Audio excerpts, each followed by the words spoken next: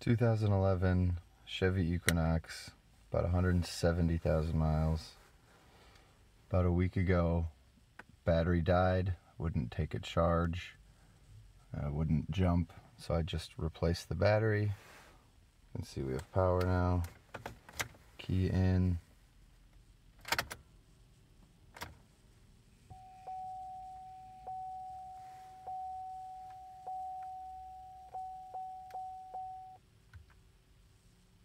Service StabiliTrak.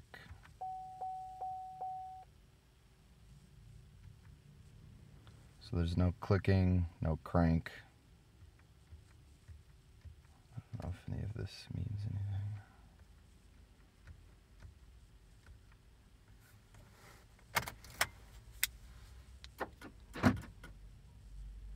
Automatic start won't work either.